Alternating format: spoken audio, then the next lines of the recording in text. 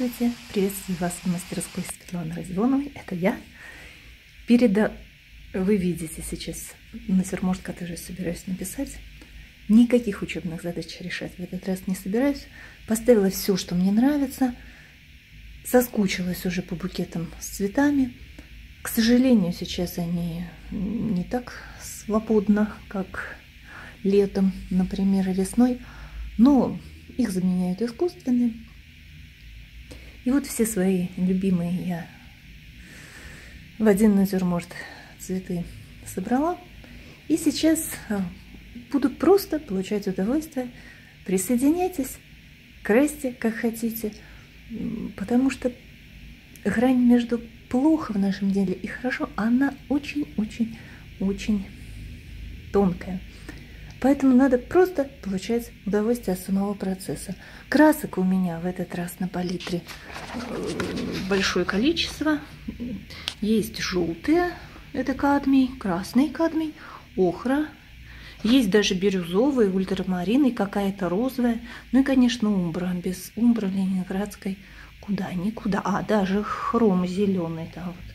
Видите, кучка лежит. Палитру я не чищу никогда, есть такой у меня грешок.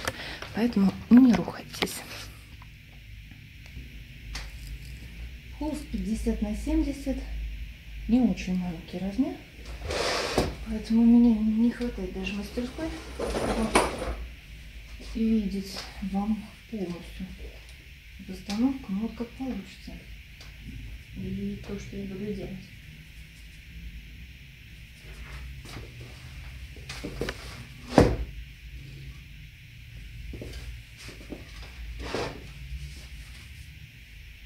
Первое это набросок. Набросок всего, что я собираюсь здесь нарисовать. Хорошо бы вообще линия, все предметы сразу.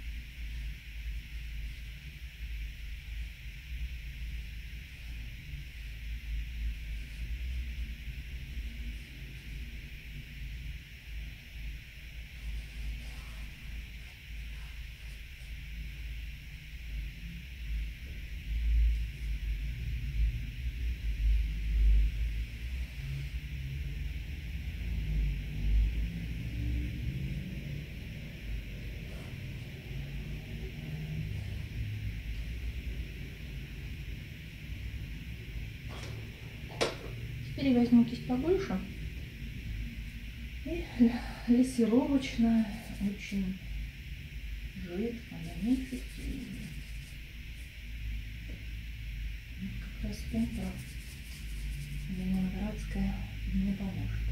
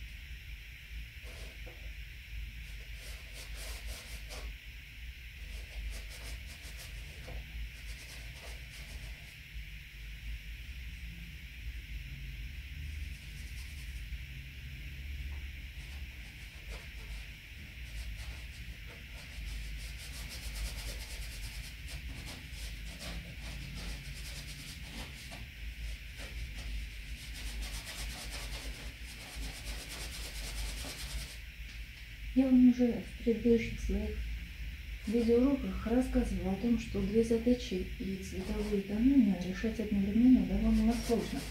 Поэтому вот такой способ позволяет постепенно сначала решить задачи тона, а потом уже заниматься только цветом. Я его рекомендую для тех, кто Пока не уверен в своих силах на все 150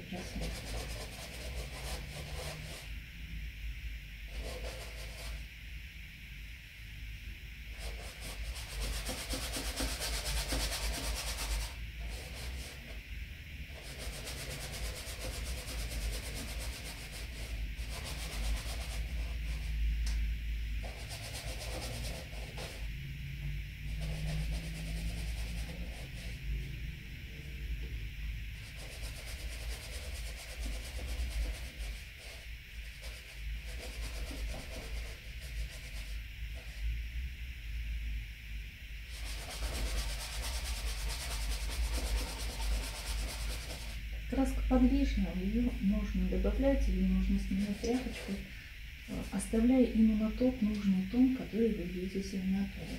То есть начинаем практически с карандашного рисунка, набирая постепенно тон, но в отличие от карандаша, работа краской идет быстрее, потому что пить нужно сразу большие поверхности. Не тратим время на наштриховывание. Но смысл весь тот же самый. Если бы вы начинали этот натюрморт на бумаге карандашом, и вот то, что я делаю сейчас кистью, это практически одно и то же, просто материал разный.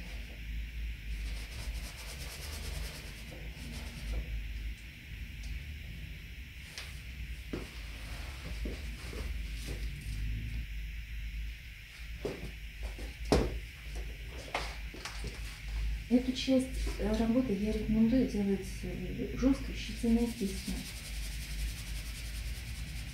Ну, в технике сухая кисть. Тогда довольно быстро наштриховываются эти плоскости краской.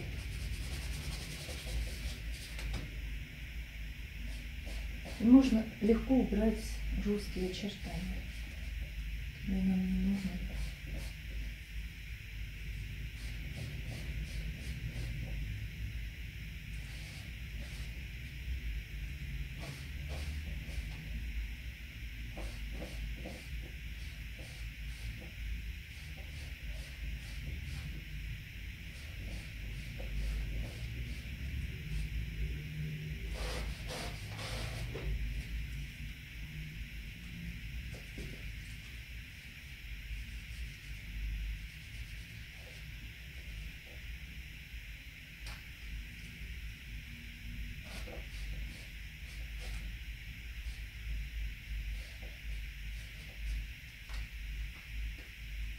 Темнеет сейчас очень быстро, очень рано. Поэтому я, пожалуй, сегодня не стану даже начинать в. Я оставлю вот такой себе подготовительный этап. И завтра уже начну работать цветом. До конца тоже доводить его не буду, чтобы не тратить время на световые части, которые будут пастозно написано, поэтому подложка не будет иметь никакого смысла, в общем-то. Сегодня случилось чудо, сегодня я вижу солнце. Я как подсолнух, не могу жить без солнца, поэтому сегодня и настроение прекрасное, и работать можно чуть дольше. Я беру огромную свою любимую кисть, вот такую, щетину вот такую. И сейчас буду работать с цветом.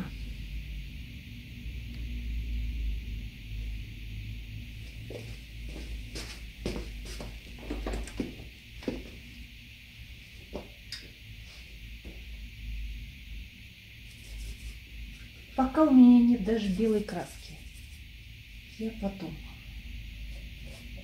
Все, что можно сейчас сделать без белого, я постараюсь сделать именно сейчас. Набор красок, который я вчера вам называла, э, он мне не пригодился, пригодилась только умбра ленинградская и сиена. Все остальное осталось на сегодня. А вот белый я до сих пор еще не видела.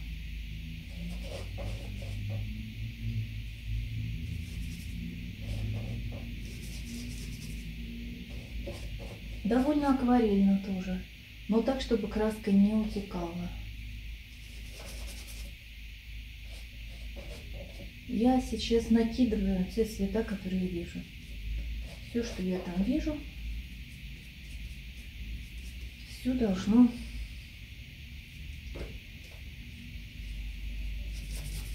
обозначиться вот с одной палитры. Обязательно эту стадию надо сделать сегодня. Но завтра нельзя. Уже будет другая палитра. Уже будет другое состояние. Будет другое настроение.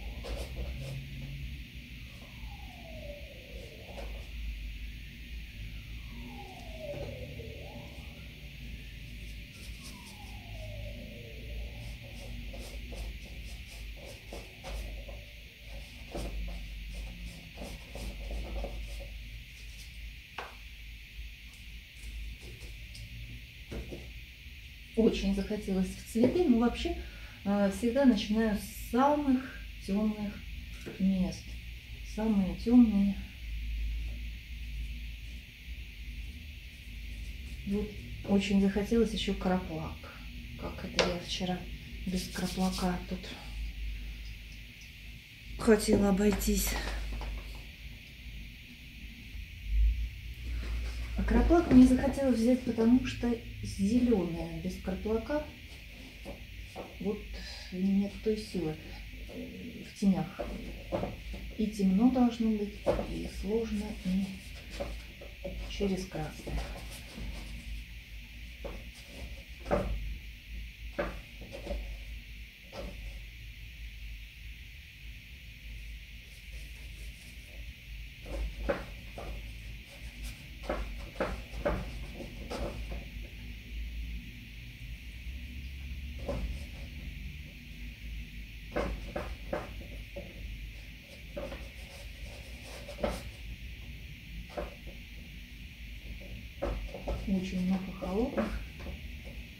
Сейчас.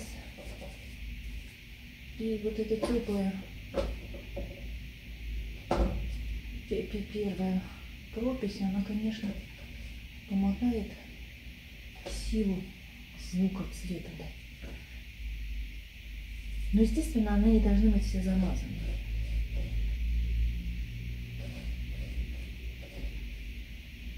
В тенях мы пишем не сильно пусто, не корпусно.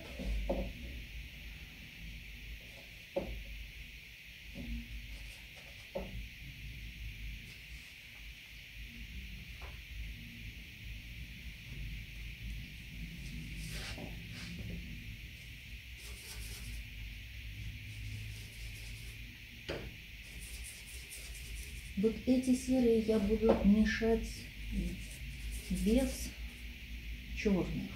Это розовые, синие, зеленые.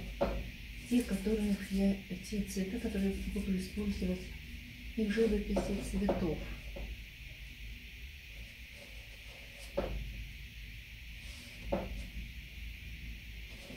И сейчас без белила это может казаться излишне цветной, но как только в руки попадут белила, то все станет на свои места.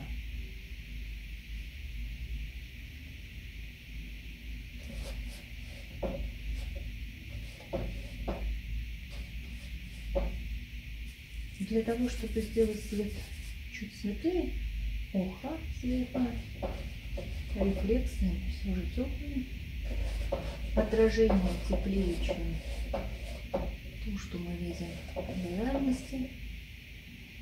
Это касается и отражения в воде, и отражения серебряных подносов. В серебряных подносах отражение везде темнее и теплее.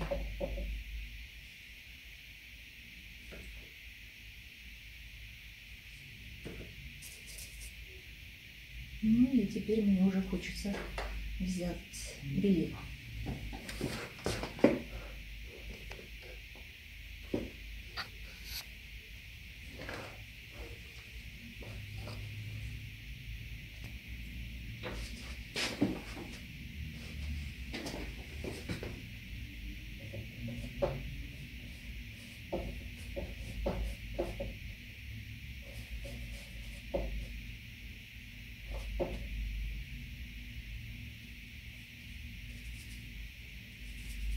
Если все белые сравнить, они все будут разными. Чуть желтее, чуть синее, краснее. Каждый белый имеет свой оттенок и свой тон. И сравнивая их, легко увидеть цвет.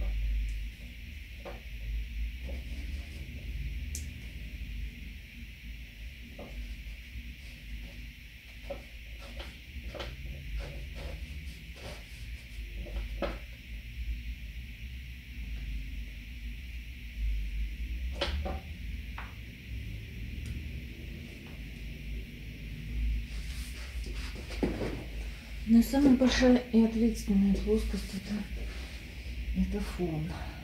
Вот, отношение вот этих белых, голубых почти что к теплому фону стены.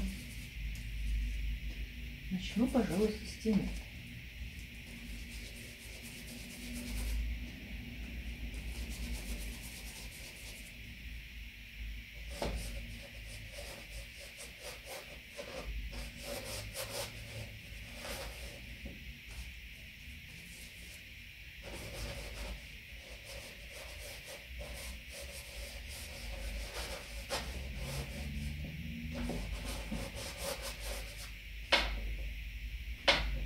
Но начинать всегда рекомендую все-таки не со световой части, а с теневой. Сама вечно как-то лезу впереди паровоза и пытаюсь сделать сначала свет.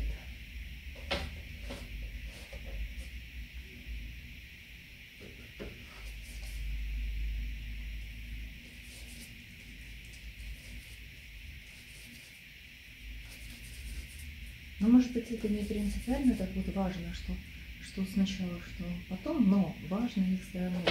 Насколько темнее световение, тем сложнее по цвету. Плотнее по тону, ну и так далее.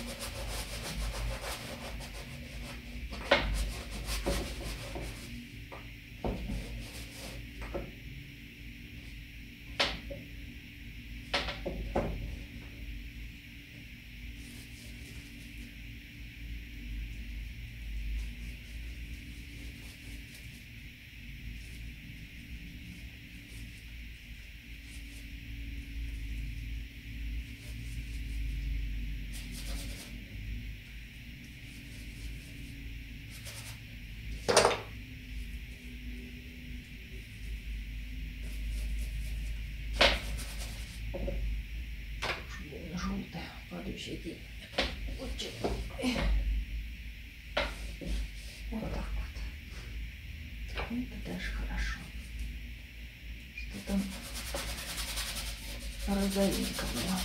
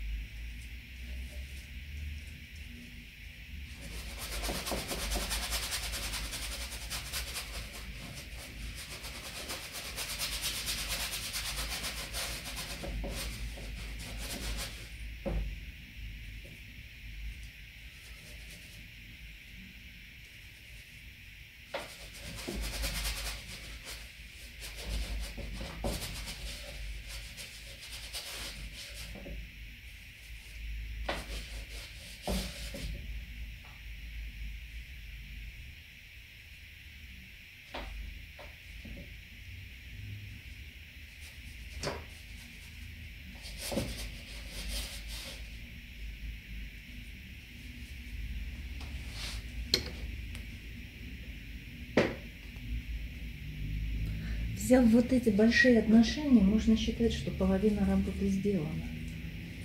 Если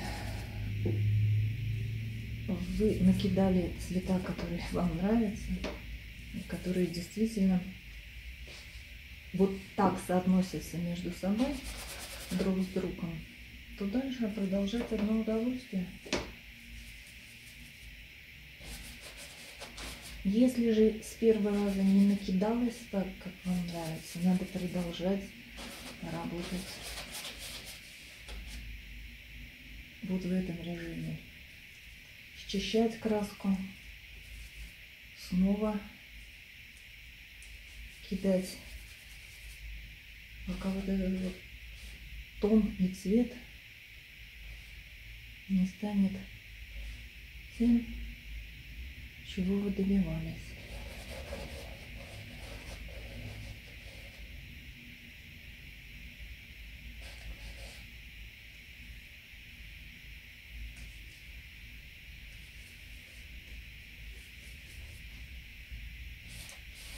Абсолютно фиолетовые сегодня оттенки появились на этой белой скатерти. Что делает солнце?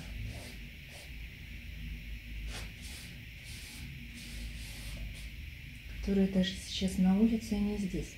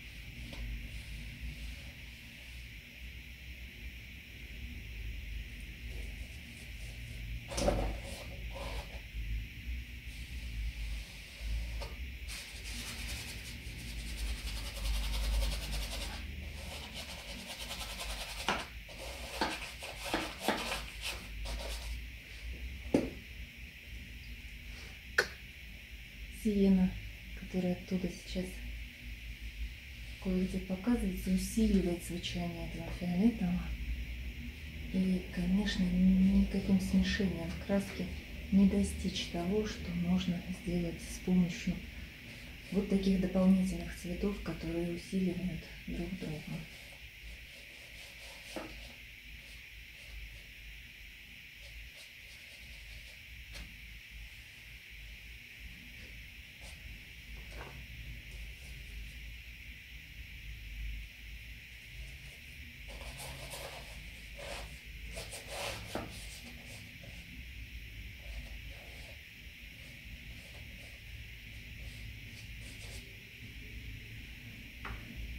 Ну, а теперь уже надо эти метелки откладывать, вооружившись кистью поменьше, заниматься тем же самым, большими отношениями света и тени, но уже внутри отдельно взятой кружки, отдельно взятого цветка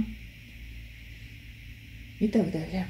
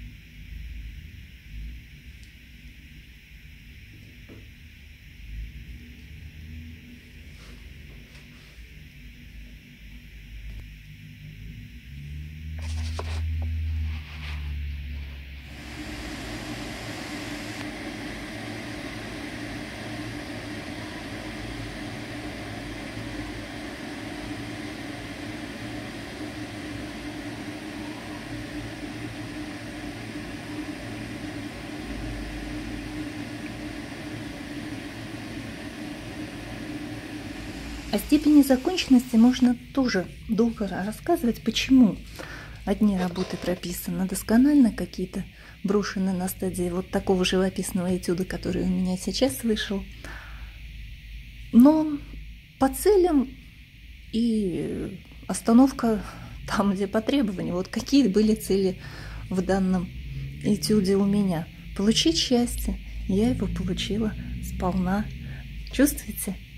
Я не хочу его ничем спугнуть, даже более детальной проработкой цветов и предметов, которые населяют этот натюрморт. Я и вам желаю счастья в творчестве и прощаюсь на этом. До новых встреч на моем канале.